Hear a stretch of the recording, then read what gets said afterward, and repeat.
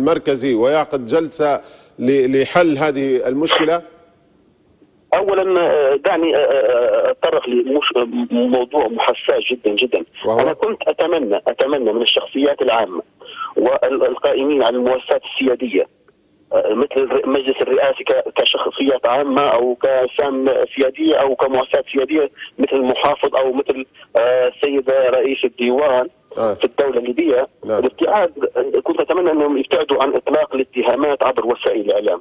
نعم. حتى لا ينعكس ذلك سلبا على ثقة المواطن الليبي بهذه المؤسسات مع أن هذه الثقة من فترة أصبحت في تداعى وفي عملية تذبذب لها من قبل المواطن لعدم وجود حلول سريعة لمعالجة المشاكل القائمة للمواطنين أو للمواطن الليبي.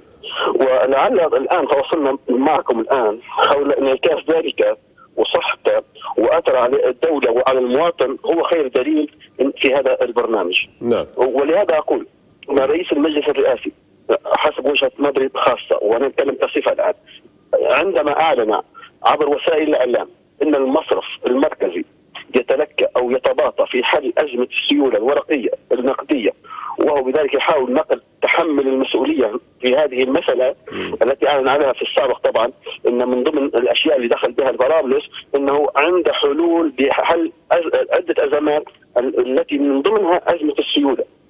نعم. هو الآن يحاول نقل أو يحاول تحميل المسؤولية